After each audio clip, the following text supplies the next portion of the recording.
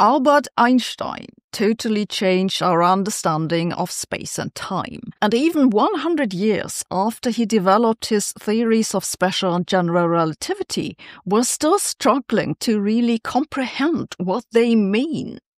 One of the most difficult parts is to understand what happens when objects move near the speed of light, because then weird things happen. Today I have a very cool experimental demonstration of an essential effect of Einstein's theory that doesn't just bend minds, it seems to bend reality. This new paper is about the Penrose Terrell effect, but before I can talk about this, I first need to give you some context. Einstein's theory of special relativity makes two most remarkable predictions. The one is time dilation, the other one is length contraction. Time dilation means that if an object moves faster, then its internal time passes slower. Length contraction means that the same fast moving object will also be shorter. It's not that it appears shorter, it actually is shorter.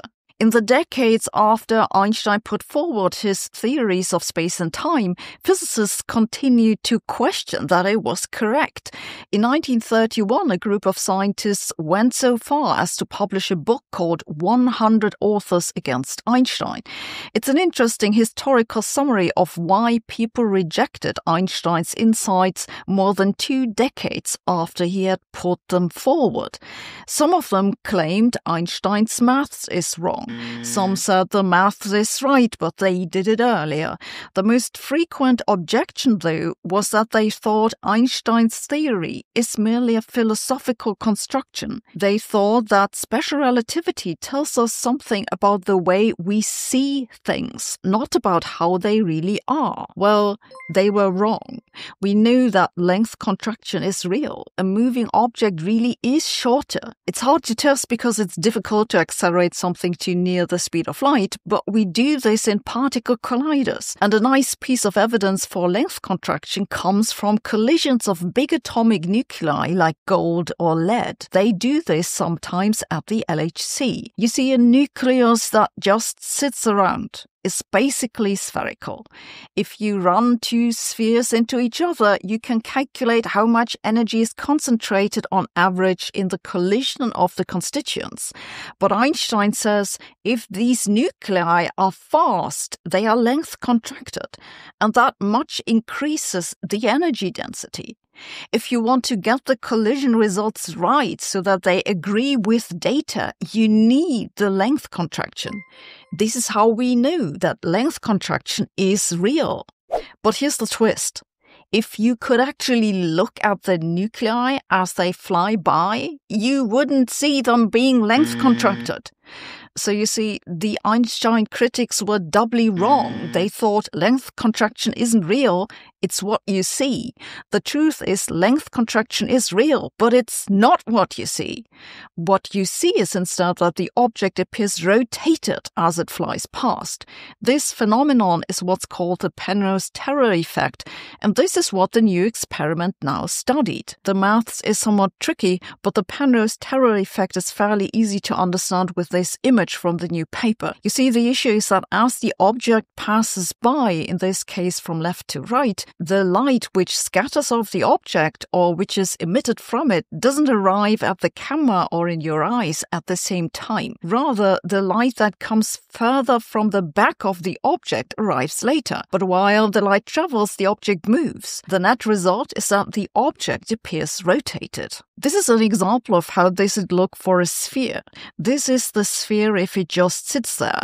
This is what you'd see if the sphere accelerated from 0.8 to 0.99 times the speed of light. You see how it appears to rotate more as it speeds up. But the authors of the new paper use a cube. So here is another brief clip that shows what you'd see for a cube that moved at 0.8 times the speed of light. For this new experiment, they didn't actually speed up the cube to the speed of light.